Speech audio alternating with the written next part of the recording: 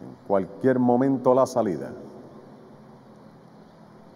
Y dieron la salida y se fueron a la lucha. Está quedando última Absolute American. Hay lucha temprano por la delantera. En los primeros 100 metros a la parte de adentro, It Can. En la pelea también está Holly Secret. También en la lucha, Gothic Majestic y Donless Gal. Van ahora pasando el poste de los 800 metros. Sigue la pelea tremenda por la delantera. Bien afuera, Gothic Majestic está tratando de dominar junto a Donless Gal. Estas dos definen la pelea ahora cuando van pasando el poste de los 600 adentro. Donless Gal, Gothic Majestic afuera. Esta última domina por medio cuerpo en los 500. Donless Gal queda en el segundo, en el tercero a dos. Está quedando Holly Secret para el cuarto lugar. Adelanta bien a la parte de afuera. Dynamic Star entran a la recta final. Gothic Majestic domina por dos cuerpos y medio. Dynamic Star viene fuerte por la parte de afuera en el segundo a 200 metros. Está emparejando y ya domina. Dynamic Star pasa a la delantera más afuera. Viene atacando The Girl of New York dominando para el segundo en los últimos 100 metros. Dynamic Star, dos cuerpos y medio al frente de Girl of NY en el segundo y se acabó el evento. Victoria para Dynamic Star por tres cuerpos.